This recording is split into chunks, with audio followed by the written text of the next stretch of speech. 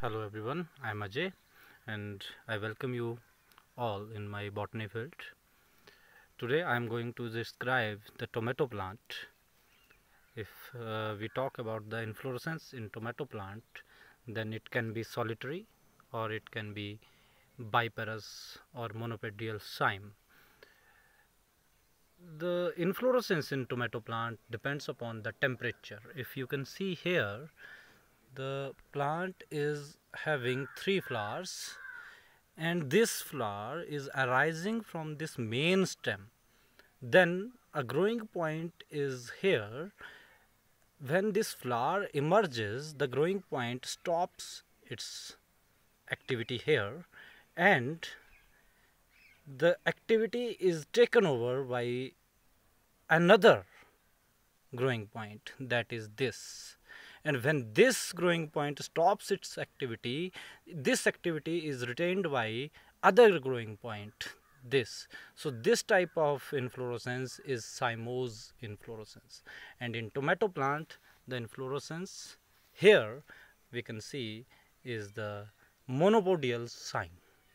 Monopodial because all the flowers are arising from one direction from this direction. So this is monopodial cyme.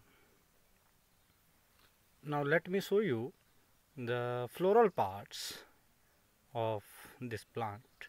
For this I have to pluck this off. Here you can see the flower is very minute. Uh, mature flower can vary in size but the maximum size can be of 1 inch maximum. 1 inch in diameter.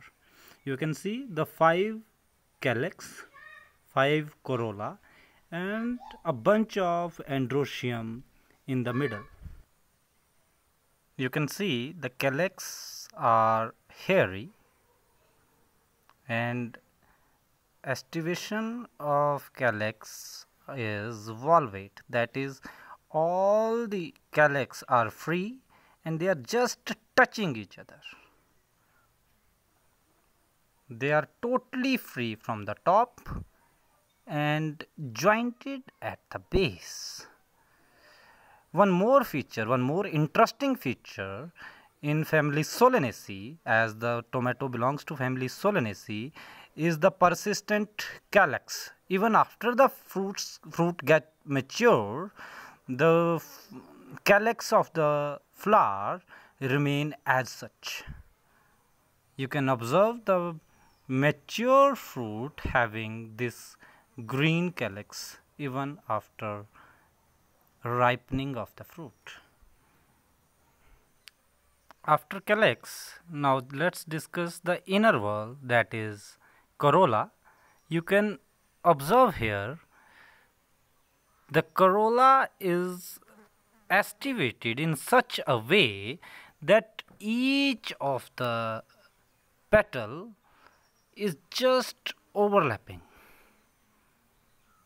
Just overlapping. And let me show you clearly. Each of the petal is just overlapping. And you can observe here one petal is totally outside. And here one petal is totally inside.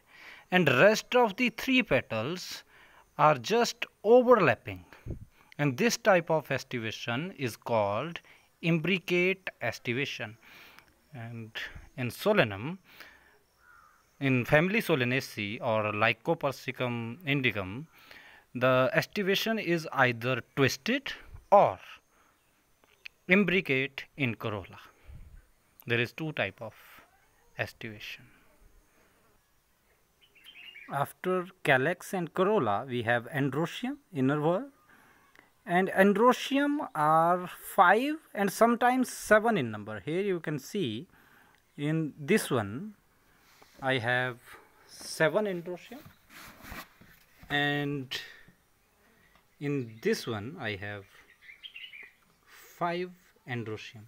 And one more interesting feature that I would like to draw your attention that all the androecium the its filament and anthers. They are all fused together.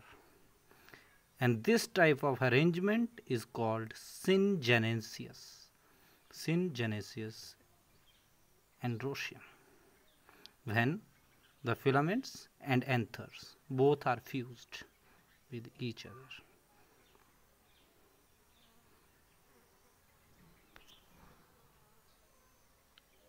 and after androecium we have gynoecium the female part of the plant which is this right here. Small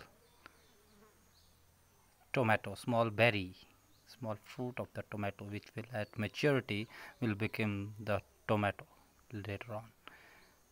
And one more feature one more interesting feature in this berry or the tomato is the obliquely placed ovary with respect to mother axis.